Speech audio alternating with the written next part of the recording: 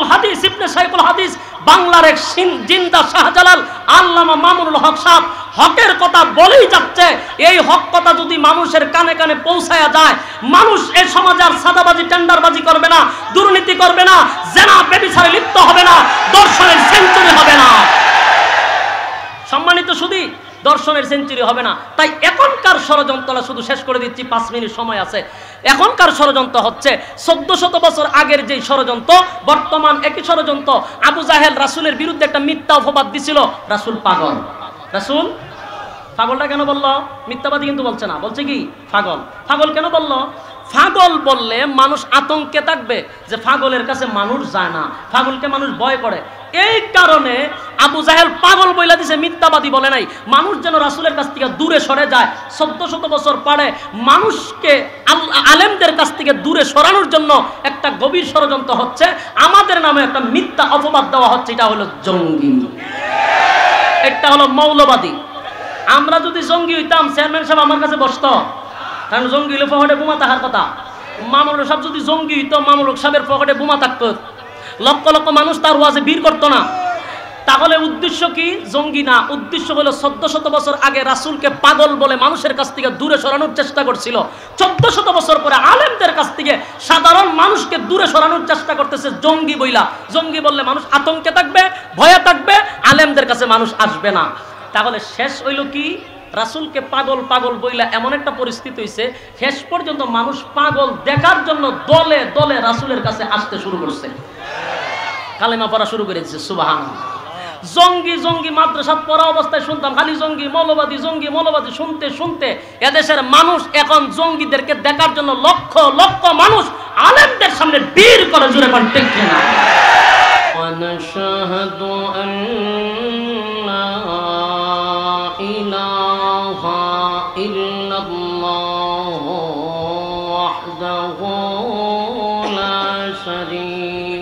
له وأشهد أن سيدنا وسندنا وحبيبنا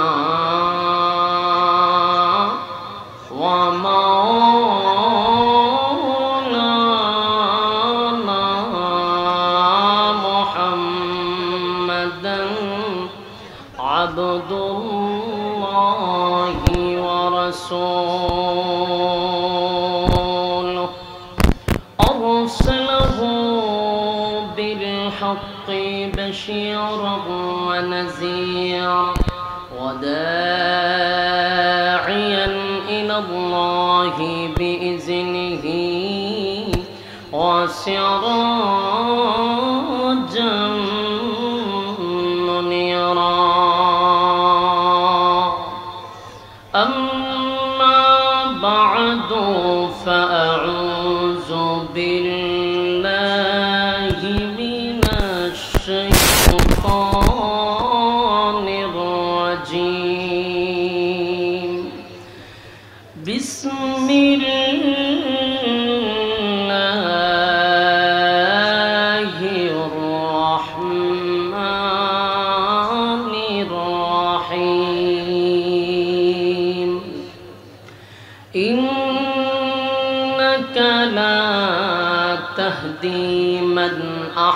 أحببت ولكن الله يهدي من يشاء وهو أعلم بالمهتدين وقال تعالى قل إن كنتم تحبون الله فاتبعوني يحببكم الله ويغفر لكم ذنوبكم والله غفور رحيم. قال رسول الله صلى الله عليه وسلم من أحب سنتي فقد أحبني ومن أحبني كان معي في الجنة قال النبي صلى الله عليه وسلم لا يؤمن أحدكم حتى أكون أحب إليه من والده وولده والناس أجمعين أو كما قال عليه الصلاة والسلام. درود الشريف পড়ি اللهم صل على محمد وعلى آل محمد. كما صليت على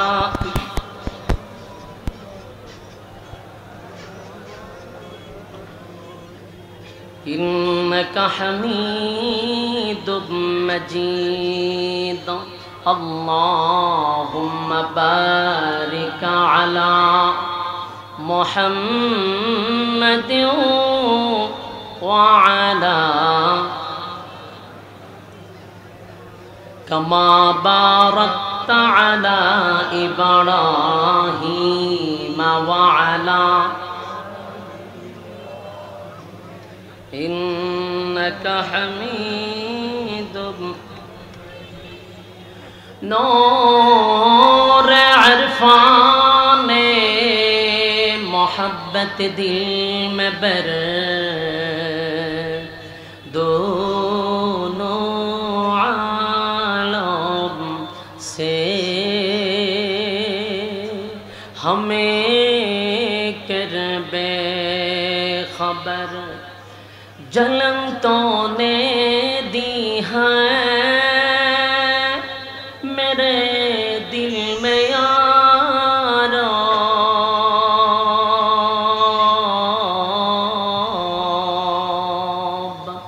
जलन की दवा अब फिला दे खुदाया। सारे दुनिया तय किया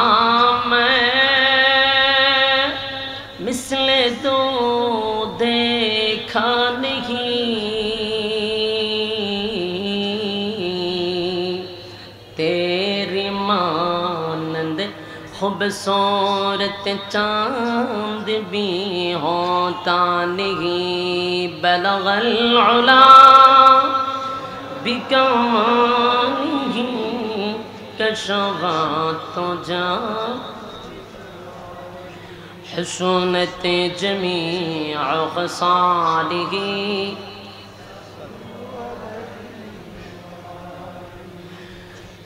मुख्ते का चमके सितार। हाजिर क्या हो इशारा?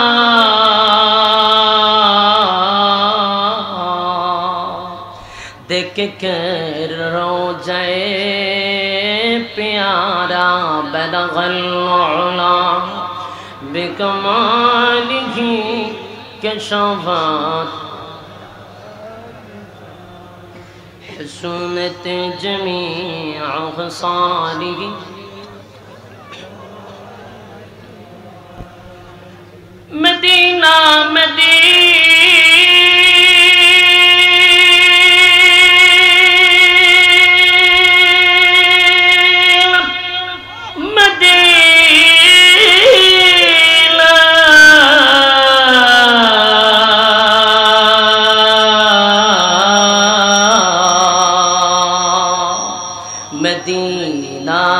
मदीना। मोमिनों की गुनगुना है। दीदार मदीना आशिकों की तमन्ना है। बदौगल बेकमाल ही كشظام حسنت جميع خصاله هجر من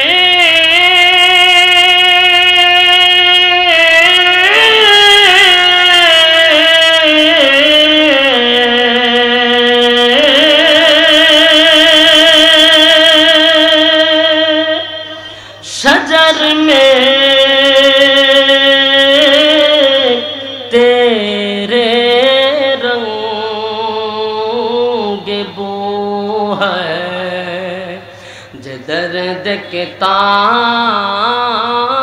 हो। मौला उधर तो ही तो है ला इलाहा इल्लल्लाह।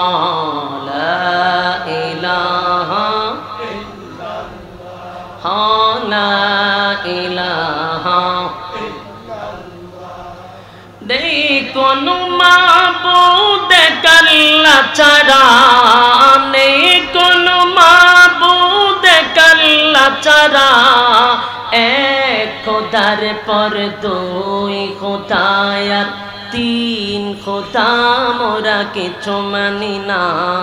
বলো না ইলাহা ইল্লাল্লাহ। ওলা ইলাহা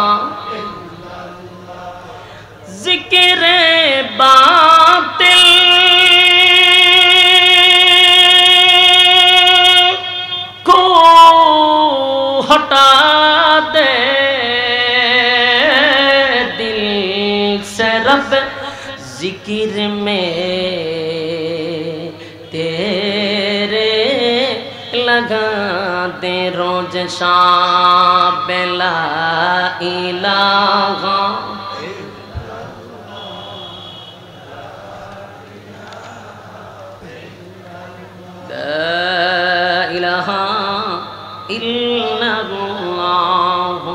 मोहम्मद रसूलुल्लाह। আলহামদুলিল্লাহ, হবিগঞ্জ জেলার অন্তর্গত মাতুবপুর উপজেলা ওলামা পরিষদের অধ্যক্ষে আয়োজিত আজকের ইসলামী মহাসম্মেলনের সম্মানিত যিনি সভাপতি হজরত মাওলানা সিরাজুল ইসলাম সাহেব, সভাপতি মাতুবপুর উপজেলা পরিষদ। আজকের মাহফিলের যিনি এটার তত্ত্বাবধানে রয়েছেন, আরজ গুজার মুফতি ওয়াজেদ আলী সাহেব, সাধারণ সম্পাদক মাতুবপুর উপজেলা ওলামা পরিষদ। উপস্থিত আছেন আজকের এই মাহফিলের আমাদের অতিথি মাতুবপুর মাতুবপুর কৃতি সন্তান, জনাব মোহাম্মদ আতিকুর রহমান সাহেব। উপস্থিত আছেন জাতির শ্রেষ্ঠ সন্তান হাজরাতুলামাই কেরাম স্টেজে উপস্থিত। উপস্থিত আছেন আমার সমবয়সী তরুণ যুবক ভাইয়েরা। উপস্থিত আছেন মোরব্যান আজাম, মাইকের আওয়াজ। যতটুকু দূরে যাচ্ছে, অবস্থানরত আছেন পর্দানিশী মা এবং বোনেরা। সকলকে আমার অন্তরের অন্তঃস্থল থেকে জ্ঞাপন করছি। মোবারক সপ্তকন শুক্রিয়া। আল্লাহ সুবহান, মহিয়ান, গরিয়ান, সর্বশক্তিমান আল্লাহ পাকের জন্য, যিনি অত্যন্ত দয়ামায়া করে আমাদেরকে সুস্থ অবস্থা দিনই এক পরিবেশে ওলামাই কেরামদের সহবতে ফেরেস্তাদের মজলিসে আসার বসার তৌফিকটুকু দান করেছেন। এজন্য আসুন সকলেই আবানত চিত্তে হৃদয়ের আবেগ, অনুভূতি উঝাড় করে সমবেত কণ্ঠে উচ্চ সুরে আওয়াজ দিয়ে শুক্রিয়া আদায় করছি। আলহামদুলিল্লাহ। লক্ষ কোটি দুরুদ এবং সালাম আল্লাহর সৃষ্টির প্রধান আকর্ষণ বিশ্বসভার সভাপতি শামসুল হেদায়ত বদরুদ্দুঝা সৈয়দুল সাকাদাইন, ইমামুল মুরসালিন, খাতামান নবিকিন ওয়াল মুরসালিন, জনাব মুহাম্মদুর রাসূলুল্লাহ সাল্লাল্লাহু আলাইহি ওয়াসাল্লামের উপর সম্মানিত সুদী, আমি এই থানার কৃতি সন্তান। আপনাদের এই এলাকারই এটা আমার থানা, আর আজকের এই মাহফিলের ওলামা পরিষদের একজন সদস্য আমি। মূলত আমি এখানে কোনো মেহমান নয়, আপনারা আমাদের মেহমান, আমরা আপনাদের খেদমতে থাকব ইনশা আল্লাহ আমার পূর্বে যারা বয়ান করেছেন, আমার পরে যারা বয়ান করবে, তাদের জুতার ধুলার সমানও আমার কোনো যোগ্যতা নেই। তারপরেও আমি বরকতান আমাদের ওলামায় কেরামদের অনুরোধে কিছু সময় দোয়া নেওয়ার জন্য আপনাদের সামনে কিছু কথা বলতে চাই। রব্বি করিম যেন আমার জবান দিয়ে এখলাসের সাথে কথাগুলি বাহির করে দেয়। আপনাদেরকেও যেন এখলাসের সাথে শ্রবণ করার তৌফিক দান করে। আমিন। সম্মানিত শুধু আমরা এখানে কেন আসছি? আমাদের উদ্দেশ্য কি? এটা এমন একটি মজলিস, এটা দুনিয়াবি কোনো মজলিস নয়। আমরা এখানে আসছি, আগামীতে চেয়ারম্যানে দাঁড়াবো এমপিতে দাঁড়াবো, এমন কোনো উদ্দেশ্য? এটা কোরআনের মজলিস। দুনিয়া হাসিল করার জন্য আমরা এখানে আসি নাই। পরকাল পাওয়ার উদ্দেশ্যে আমরা এখানে আসছি। না, অন্য কোনো উদ্দেশ্য আছে? আমাদের একটাই উদ্দেশ্য, আল্লাহকে রাজি এবং খুশি করার জন্য ওলামা একরামদের ডাকে, আপনারা, আপনাদের যার যার স্থান থেকে এখানে ছুটে আসছেন, মৌমাছির মতো বসে আছেন প্রচণ্ড গরমের মাঝখানেও আল্লাহ রাব্বুল আলমিন আপনাদেরকে দুনিয়া এবং আখেরাতের সম্মানী দান করুক, আমিন। আমি যদি এটা বলি, জোর দাবি করে ভুল হবে না। এটা যদি কোরআনের মজলিস না হয়ে, রাজনৈতিক মঞ্চ হতো, যেই মানুষগুলা এখানে আসছে, আল্লাহর কাসাম, এই মানুষগুলারে সুষ্ঠুভাবে বসার যদি একটা সিস্টেম করা হতো আমার মনে হয় অসংখ্য পুলিশ লাগতো শুধু আমাদেরকে নিয়ন্ত্রণ করার জন্য। তারপরে দেখতেন চিল্লা চিল্লি, হাও মাও চেয়ার দেয়া বাইরা বাইরি। কিন্তু এতগুলা মানুষ এখানে আসছে, একজন পুলিশ কি আমাদেরকে নিয়ন্ত্রণ করার জন্য টগল দিচ্ছে? কারণ এদেশের মুসলমানরা জানে ওয়াজ মাহফিলে, দিনই মসজিষে আদবের সহিত বসতে হয়। চিল্লা পাল্লা করতে হয় না, এটা আমাদেরকে নতুন করে শেখানোর কোনো প্রয়োজন নাই। এখানে যারা বসছে অনেকেই সিগারেট খায়। কিন্তু আপনারা এখান থেকে ওই মাথা পর্যন্ত ঘুরে দেখেন, একজন মানুষ কি এখানে সিগারেট ধরাইছে। কসম খোদার, যদি এটা রাজনৈতিক মঞ্চ হইতো, চেয়ারের নিচে হইল টান দিত।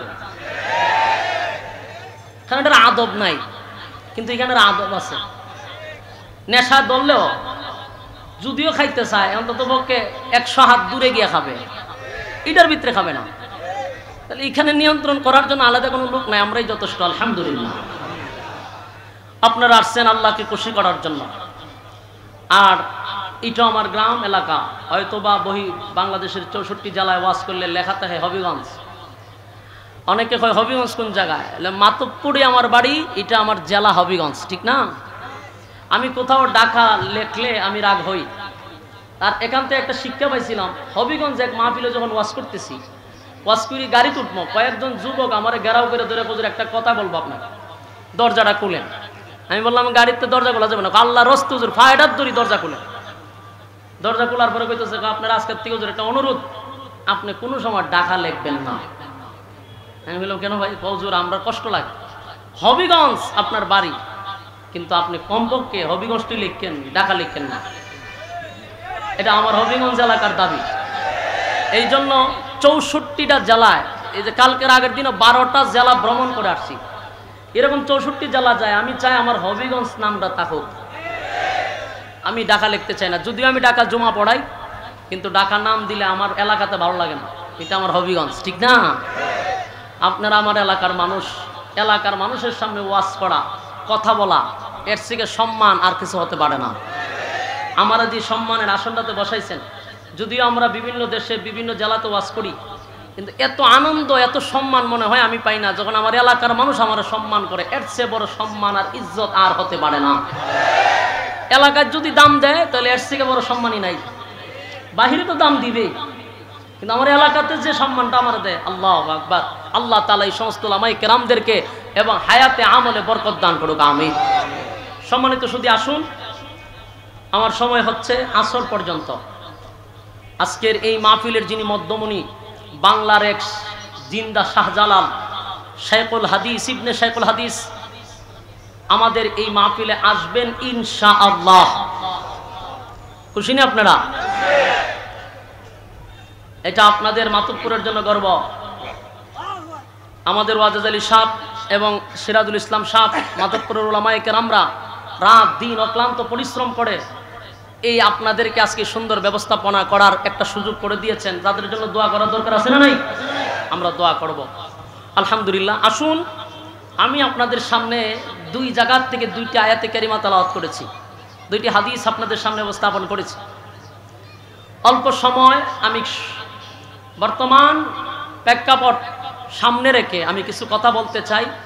অল্প সময়ে বোঝার তৌফিক যেন আল্লাহ দান করে, আমাকে যেন বলার তৌফিক দান করে আমি আসুন, প্রথম নাম্বার আয়াতটা কেন আল্লাহ নাজিল করলেন?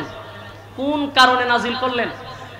প্রত্যেকটা আয়াত অথবা সুরা যখনই নাজিল হইছে, কোনো সময়, কোনো সুরা অথবা সুরা নাজিল হওয়ার সময় কোনো প্রশ্নের উত্তরে নাজিল হয়েছে কোনো সময় কোনো ঘটনারে কেন্দ্র করে নাজিল হয়েছে কোনো সময় কোনো সমস্যার সমাধানের জন্য নাজিল হয়েছে তো আয়াত অথবা সুরার যে শানে নজুলটা আমরা অনেকে বুঝতে পারি না, যারা সাধারণ মানুষ, এর এটা তাফসিরের পরিভাষায় শানে নজুল বলা হয়।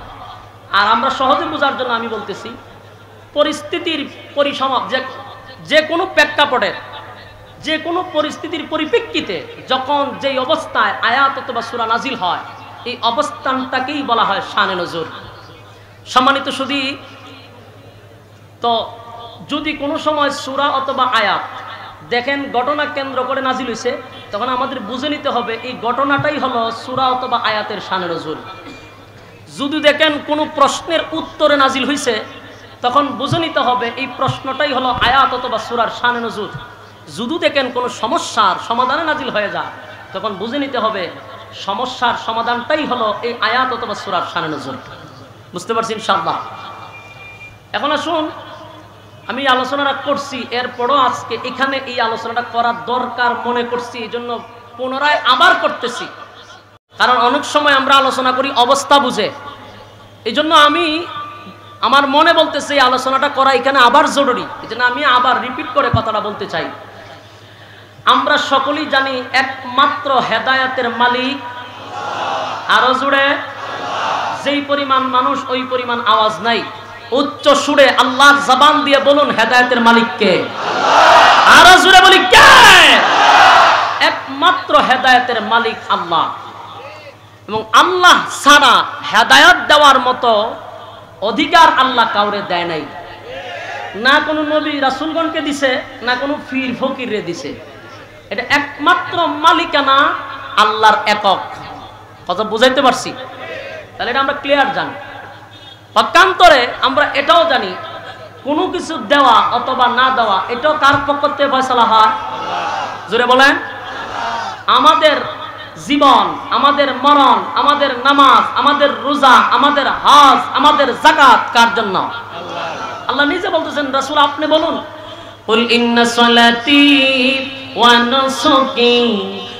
মাহইয়ায়া ওয়া মামাতি লিল্লাহি রাব্বিল আলামিন, লিল্লাহি রাব্বিল আলামিন। আমার নামাজ, আমার রোজা, আমার হজ, আমার জাকাত আমার যা কিছু আছে আমার কোরবানি, সব লিল্লাহ রব্বিল আলামিনের জন্য। তাহলে আমরা কিছু চাইলে কার কাছে চাইব? জোরে চাই? আল্লাহর কাছে চাব আল্লাহর কাছে চাইলে আল্লাহ বেজার হন না, খুশি হন। মানুষের কাছে চাইলে মানুষ বেজার হন। আপনি যত বড় দানশীল মানুষ হোক, বারবার তার কাছে গেলে মানুষটা বিরক্ত হয়। যদিও তার টাকার অভাব নাই, কিন্তু আপনি চাইলে বেজার হয়। আর আল্লাহ বলেন, আমার কাছে যত চায়, তত আমি খুশি হই সুবাহান তাহলে আমরা চাইব কার কাছে? আমাদের সব কিছু দেওয়ার মালিক কে? আমাদের ব্যবসা বাণিজ্য বরকত দিবে কে? আমাদের সন্তান দিবে কে? জুড়ে বলেন। না বাবা, আল্লাহ দেয়। বিশ্বাস আছে তো? আল্লাহ ছাড়া কারও কাছে মাথা আমরা নত করব না। এর থাকবে তো? আপনারা তো ওইখানেও ঠিক ওই গানে গিয়েও ঠিক। সব জায়গায় শ্রোতা হলো টিক টিক এই একটা অবস্থা আমাদের দেশে। ওয়াজও ঠিক, মাজারও ঠিক, বাজারও ঠিক, সিনেমা হলও ঠিক, রাজনৈতিক মঞ্চ ঠিক ঠিক ঠিক। বেটিক কোন জায়গা? এজন্য আসুন, আল্লাহ একমাত্র হেদায়তের মালিক, উনি দিলে হেদায়ত, বন্দা হেদায়ত পায় আল্লাহ যদি হেদায়ত না দেয় তাম পৃথিবীর মানুষ নয় স্বয়ং রাসুল কানলেও কাম হবে না। আর আল্লাহ যদি হেদায়ত দিয়া দেয় তাহলে তাম পৃথিবীর মানুষও তারে গুমরা করতে পারবে না। এই একই আর বিশ্বাস আমাদের আছে আলহামদুলিল্লাহ। ঠিক না? আমি কথাটা আবারও বলছি হেদায়ত এমন একটা জিনিস এটা একমাত্র আল্লাহর হাতে। চাইলে আল্লাহ যদি চায় বন্দাকে হেদায়ত দেয়। এখন একটা প্রশ্ন থাকে যে কথাটা বেজুরাও বলছি, আবারও বলছি, যে আল্লাহ হেদায়ত দেয়। কারণ এরকম প্রশ্ন আমাদের কাছে করে, হুজুর আল্লাহ তো হেদায়তের মালিক। এটা কোনো নবী রাসুলগণের হাতেও না। তে আল্লাহ আমার দেখে না, আমি যে আকাম কুকামের সেঞ্চুরি করি। আমি যে আকাম কুকাম করি, আল্লাহ দেখিনি। বলে, দেখে তো। তাহলে আমার হেদায়ত দেয় না কেন? অনেক মানুষের এমন প্রশ্ন। যেহেতু আল্লাহ আমারে দেখে আল্লাহ হেদায়তের মালিক আমারে হেদায়ত দিলেই তো আমি ভালো হয়ে যায় এটা তো আর নবী রাসুলগণের হাতও না, পীর সাহেবের হাতও না যে গেলেই নিয়ে আসব। আল্লাহ দিলে পাইব, তা আল্লাহ দিলেই আমি ভালো হয়ে যাই। এরকম প্রশ্ন করে। হ্যাঁ আপনার প্রশ্ন সঠিক। আল্লাহ দিলেই আপনি পাবেন। তবে একটা কথা এক্সাম্পল বাচ্চায় যখন চিল্লি দেয়, মা তখন তারা দুধের ব্যবস্থা করে দেয়। কথা কয় না? বাচ্চায় যতক্ষণ না কান্দে, মা ততক্ষণ দুধ দেয় না। ঠিক বান্দায় যখন আল্লাহর কাছে চায়, তখন আল্লাহ হেদায়ত দেয়। বান্দায় না চাইলে আল্লাহ হেদায়ত দেয় না। আমাদের করণীয় হলো আমরা আল্লাহর কাছে চাইতে হবে। অন, আমি সিনেমা হলের ভিতরে বইয়া যদি কই আল্লাহ হেদায়ত দেয় না কেন? আমি যদি দুর্নীতির মধ্যে থেকে বলি আল্লাহ হেদায়ত দেয় না কেন? এটা হেদায়ত চাওয়া না, এটা আল্লাহর সাথে ফাজলামি করা। এখন যেখানে আসছেন, এটা হেদায়তের একটা রাস্তা। এখানে এসে যদি বলেন, আল্লাহ আমার হেদায়ত দেন, এটা যুক্তি। কিন্তু আপনি বাজারে, মাজারে বিভিন্ন জায়গায় গিয়া যদি বলেন, নাচ গানের মঞ্চে গিয়া যদি বলেন, আল্লাহ হেদায়ত দেয় না কেন? এটা হেদায়ত চাওয়া না, এটা ফাজলামি করা। যেখানে চাইতে হবে, সেখানেই যাইতে হবে।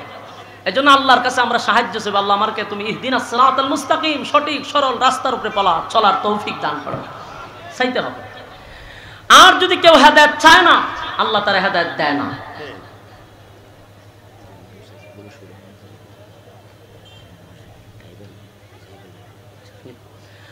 আপনারা যারা মামুল সাবরে আনার জন্য যাবেন মোটর সাইকেল যারা শোডাউনের জন্য ড্রাইভাররা আপনারা মোটর সাইকেলের কাছে চলে যান। আর আপনারা বসেন না আপনারা যাইবেন? পুজোর তো আসবে ইনশাআল্লাহ। এখন আসুন আরেকটা বিষয় আমাদের স্পষ্ট জানা দরকার। আপনি হেদায়ত আল্লাহর কাছে চাইলেন আবার আপনি নাফরমানিও করলেন আবার চাইলেন আবার নাফরমানিতে লিপ্ত হলেন। যাই না শুই না বার বার আপনি গুনাহের কাজে লিপ্ত হলেন, তাহলে বুঝে নিতে হবে আপনার কপালত রীতিমতো আমরার বাসায় বলা হয় টাড়া পড়ছে। কপালে হেদায়ত নাই? কেন নাই? আপনারা জানেন রসুল আরবি সাল্লাহ সাল্লাম দুইজন ইসলামের সবচেয়ে বড় শত্রুর জন্য দোয়া করছিল এর মধ্যে একজন হলো খলিফাতুল মুসলিমিন উমর আর একজন হলো আবু জাহেল। দুইজনের জন্য দোয়া করছিল যে, আল্লাহ, দুইজনের মধ্যে একজনরে তুমি আমারে দিয়া দাও। তাহলে দিনের স্বার্থে অনেক উপকার হবে। দিন প্রচার করতে আমার বড় সুবিধা হবে। রাসুলের দোয়া সাথে সাথে কবুল, কিন্তু দোয়াটা কবুল হয়েছে খলিফাতুল মুসলিমিন উমরের বেলায়। ঠিক এই দোয়াটা কবুল হয়েছে না আবু জাহিল্লার বেলায়? এখন একটা প্রশ্ন হইল মাঝখানে, কেন? রাসুল কি উমরের জন্য দোয়াটা বেশি করছিল?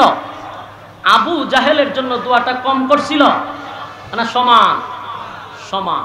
তো দোয়া কবুল হইল উমরের বেলায়, দোয়া কবুল হইল না আবু জাহিল্লার বেলায়, মাঝখানে শব্দটা হইল কেন? এই কেনটা আপনাদের বোঝা দরকার? আবু জাহেল ইসলামের বিরোধিতা করত, উমরও করত, কিন্তু মাঝখানে উল্লেখযোগ্য একটা বেশকম ছিল। বেশকমটা হলো, আবু জাহিল্লা যত আকাম কুকাম দিনের কাম, রাত্রের কাম যা করত, ঠান্ডা মাথায় নিরিবিলি করত এবং জান্না শূন্য করত। কথা বুঝতেছেন? জেনে শুনে করত। উমর যত ইসলামের বিরোধিতা করত, উমর রাসুলের ব্যাপারে জানতো না এমন কি কোরআনের ব্যাপারেও জানতো না, শুধু তাদের মুখের কথা শুনে এসে লাফাইত। আর আবু জাহেল যত বিরোধিতা করতো, একেবারে স্পষ্ট ইসলাম ব্যাপারে তার জানা ছিল। এটার একটা ঘটনা হলো, আবু জাহেলের খুব ঘনিষ্ঠ একজন বন্ধু, মহাব্বতের বন্ধু। সে একবার আবু জাহেলের ঘরের ভিতরে ঢুকছে। ঢুইকা বলতেছে, দুস্ত মক্কার কিছু রিপোর্ট নিয়ে তোমার কাছে আসছি। কারণ সে কিন্তু সর্দার ছিল, নেতা ছিল, নেতা। বলতেছি রিপোর্টটা হলো, মক্কা নগরীতে একটা দাঙ্গা হাঙ্গা সুষ্ঠু সৃষ্টি হয়েছে। বাবার ছেলে জগরা চাচা বাতিদার জগরা গোষ্ঠী গোষ্ঠী জগরা কেন? বলে মোহাম্মদ রেনিয়া। মোহাম্মদ বাপ দাদার ধর্মের মধ্যে সুনকালি মারতেছে, আর সে নতুন ধর্ম সমাজের মধ্যে প্রচার করতেছে। সেটা নিয়ে আমাদের মধ্যে একটা বিরাট আকারের একটা দ্বন্দ্ব সৃষ্টি হয়েছে। মানে এই ব্যাপারে তুমি যেহেতু সর্দার, তোমার তো একটা ভূমিকা থাকা দরকার। মোহাম্মদের ব্যাপারে তোমার এই ব্যাপারে তোমার ভূমিকা কি শোনার জন্য একান্ত তোর কাছে আসছি। তাহলে শোন, সঠিক কথা। এক থেকে চল্লিশ বছর মোহাম্মদের সাথে আমরা চলাফেরা করছি, উঠা বসা করছি। তার ব্যাপারে আমরা এর থেকে জেড পর্যন্ত জানা। চল্লিশটা বছরের ভিতরে এই লোকটা কোনোদিন একটা মিথ্যা কথা বলে নেই। শেষে আমরাই তার নাম দিছি আল আমিন সে একজন সত্যবাদী। এই উপাধিটা কিন্তু আবু জাইল্লারা দিছে। এই লোকটা যে মিথ্যা বলে না, এটা আমরা আগের থেকেই জানি। দুই নাম্বার কথা হলো, মোহাম্মদ বর্তমানে যে কথাগুলি বলতেছে, এর মধ্যেও কোনো সন্দেহ নাই, উনি যে সত্য বলে সুবাহান তিন নম্বর কথা হলো, ভবিষ্যতে মোহাম্মদ যেই কথাগুলি বলবে, সেটাও সত্য হবে, জোরে কোন সুবাহান আপনারা বুঝে থাকলে আমার সাথে একটু উত্তর দেন তো। প্রশ্নটা কে কারে করল? আবু জাহিল্লার বন্ধু আবু জাহিল্লারে করছে। আবু জাহিল্লা উত্তর দিল কি? রাসুল সত্যবাদী। রাসুল? আগেও মিথ্যা বলে নাই, বর্তমানেও না, ভবিষ্যতেও না সুবাহান এতটুক শোনার পরে আপনার ধারণাটা কি হইল বলেন? আল্লাহর রাসুল যে সত্যবাদী, এটা আবু জাইল্লা জানতো নি? জানতো। এখন তার বন্ধু তারে বলতেছে, যে রে বাটপা, তুই এত কিছু জানস। মোহাম্মদ আগেও সত্য বলছে, এখনও সত্য বলে, ভবিষ্যতেও সত্য বলবে। যে তো দেখা যায় তুই আমার থেকে বেশি জানস। তুই এত সত্য জানার পরেও তুই দরজা লাগাইয়া আমার কাছেই সত্য কথা বললি কেন? তুই এই কথাটাই তো দরজা খুললেও বলতে পারতি। দরজা লাগাইলি কেন? আমার কাছে যে সত্য কথাগুলি বলছস, এই সত্য কথাগুলি দরজা খুলে সমাজের মানুষের কাছে বইলা দে, কালকের থেকে দ্বন্দ্ব শেষ। কালকের থেকে মারামারি শেষ। সব দ্বন্দ্ব, ফেতনা শেষ হয়ে যাবে। কারণ তুই সর্দার, তোর কথার দাম আছে। আবু জাইল্লা উত্তর দিছে কি জানেন? কথা তো সত্য, কিন্তু আমি সব কথা পাবলিক পেজে বলতে পারি না, কারণ আমি পলিটিক্স করি। জুড়ে বলেন, কি করে? আপনারা কথা বুঝতেছেন? বুঝলে, একটু হ্যাঁ না বইলেন। চোদ্দ শত বছর আগের ষড়যন্ত্র ষড়যন্ত্রগুলো আপনার একটু স্মরণ করায় দিতে চাচ্ছি। আবু জাইল্লা উত্তর দিল কি, আমি সবই জানি, সবই সত্য, কিন্তু সব কথা তার পাবলিক পেজে বলতে পারি না, কারণ আমি তো নেতা। আর নেতারা সব কথা পাবলিক পেজে বলতে পারে না। যদি আমি পাবলিক পেজে মোহাম্মদের সত্য কথা উপস্থাপন করি, পরের দিনই শেয়ার আমার থাকবে না। কথা বুঝতেছেন? শেয়ার আমার থাকবে না। তাই মোহাম্মদের সব সত্য কথা গোপন রাখি আর যত মিথ্যা অপবাদ আছে, আমরা সমাজের মধ্যে এগুলো প্রচার প্রসার করি। শুধুমাত্র আমার একক রাজত্ব টিকায় রাখার জন্য। কথা বুঝতেছেন? কত শত বছর আগের ষড়যন্ত্র? চোদ্দ শত বছর আগের ষড়যন্ত্র। সম্মানিত শুধু সেই আবু জাহেল নাই। আবু জাহেলের সেলাফেলা আসেনি থাকব নি? কেমত পর্যন্ত। ভাববেন না, আবু জাহেল শেষ, সব শেষ। না, আবু জাহেলের নাতিপতি সার্গিত থাকবে। কেমন পর্যন্ত তারা আবু জাহেলের ভূমিকা পালন করবে। চোদ্দ শত বছর আগের সেই ষড়যন্ত্র দেখেন, সব রাসুলের ব্যাপারে জানার পরেও সে বলতেছে, আমি যদি সত্য কথা বলতে যাই, তাহলে আমার গদি থাকবে না। আর মোহাম্মদ যে আইন চালু করছে সমাজে, সেই আইন যদি আমি মানতে যাই, তাহলে বড় বড় বুতল আর টানতে পারব না। তখন আমি ক্লাবে গিয়া নারী নিয়ে নাচানাচি করতে পারব না। মোহাম্মদের আইন মানতে গেলে সাদাবাজি টেন্ডারবাজি দুর্নীতি করতে পারব না। সমাজে সুদ, ঘুষের বাণিজ্য করতে পারব না। কারণ মোহাম্মদের আইনে এগুলা নিষেধ। কথা বুঝতেছেন?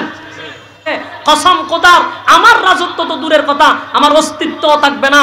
চোদ্দ শত বছর পরে ওলামাই যেমন ভাবে হক কথাগুলি সমাজের মানুষের কানে কানে পৌঁছায়া দিচ্ছে, যেমন আমাদের মধ্যে সাইকুল হাদিস, ইবনে সাইকুল হাদিস, বাংলার এক জিন্দা শাহজালাল, আল্লামা মামুনুল হক সাহ হকের কথা বলেই যাচ্ছে। এই হক কথা যদি মানুষের কানে কানে পৌঁছায়া যায়, মানুষ এ সমাজে আর সাদাবাজি, টেন্ডারবাজি করবে না, দুর্নীতি করবে না, জেনা, বেবিচারে লিপ্ত হবে না, দর্শনের সেঞ্চুরি হবে না সম্মানিত শুধু দর্শনের সেঞ্চুরি হবে না। তাই এখনকার ষড়যন্ত্রটা শুধু শেষ করে দিচ্ছি, পাঁচ মিনিট সময় আছে। এখনকার ষড়যন্ত্র হচ্ছে চোদ্দ শত বছর আগের যে ষড়যন্ত্র, বর্তমান একই ষড়যন্ত্র, আবু জাহেল রাসুলের বিরুদ্ধে একটা মিথ্যা অপবাদ দিছিল, রাসুল পাগল। রাসুল, পাগলটা কেন বলল? মিথ্যাবাদী কিন্তু বলছে না। বলছে কি? পাগল। পাগল কেন বলল? ফাগল বললে মানুষ আতঙ্কে থাকবে যে ফাগলের কাছে মানুষ যায় না, ফাগলকে মানুষ ভয় করে। এই কারণে আবু জাহেল পাগল বইলা দিছে, মিথ্যাবাদী বলে নাই। মানুষ যেন রাসুলের কাছ থেকে দূরে সরে যায়, চোদ্দ শত বছর পরে, মানুষকে আলেমদের কাছ থেকে দূরে সরানোর জন্য একটা গভীর ষড়যন্ত্র হচ্ছে। আমাদের নামে একটা মিথ্যা অপবাদ দেওয়া হচ্ছে, এটা হলো জঙ্গি। একটা হলো মৌলবাদী। আমরা যদি জঙ্গি হইতাম, চেয়ারম্যান সাহেব আমার কাছে বসতো। কারণ জঙ্গি হলে পকেটে বোমা থাকার কথা। মামুল সাহেব যদি জঙ্গি হইতো মামুল সাহেবের পকেটে বোমা থাকতো। লক্ষ লক্ষ মানুষ তার ওয়াজে বীর করতো না। তাহলে উদ্দেশ্য কি? জঙ্গি না। উদ্দেশ্য হলো চোদ্দ শত বছর আগে রাসূলকে পাগল বলে মানুষের কাছ থেকে দূরে সরানোর চেষ্টা করছিল। চোদ্দ শত বছর পরে আলেমদের কাছ থেকে সাধারণ মানুষকে দূরে সরানোর চেষ্টা করতেছে জঙ্গি বইলা। জঙ্গি বললে মানুষ আতঙ্কে থাকবে, ভয়ে থাকবে, আলেমদের কাছে মানুষ আসবে না। তাহলে শেষ হইল কি? রাসূলকে পাগল পাগল বইলা এমন একটা পরিস্থিতি হয়েছে শেষ পর্যন্ত মানুষ পাগল দেখার জন্য দলে দলে রাসূলের কাছে আসতে শুরু করছে। কালেমা পড়া শুরু করে দিচ্ছে সুবাহান জঙ্গি জঙ্গি মাদ্রাসা পড়া অবস্থায় শুনতাম, খালি জঙ্গি, মৌলবাদী জঙ্গি, মৌলবাদী শুনতে শুনতে এদেশের মানুষ এখন জঙ্গিদেরকে দেখার জন্য লক্ষ লক্ষ মানুষ আলেমদের সামনে বীর করে জুড়ে কোন ঠিক না ষড়যন্ত্র কইরা দূরে সরাইলো না, কাছে আনলো। আল্লাহ রাসূলের কাছ থেকে, নবীর কাছ থেকে সাহাবায়ে কেরামদেরকে দূর করতে চাইছিল। কাছে আসছে না, দূরে গেছে? এখনও উলামায়ে কেরামদের কাছে মানুষ আসতেছে, দূরে যায় নাই। ঠিক কিনা বলেন? আল্লাহ সবাইকে বোঝার তৌফিক দান করুক বলে আমিন। আমার জন্য দোয়া চাই। আল্লাহ যেন আমাদেরকেও দিনই কথা বলার সুযোগ করে দেয়। উম্মতের জন্য যেন আল্লাহ আমাদেরকে কবুল করে। আমিন। আসসালামু আলাইকুম রাহমাতুল্লাহি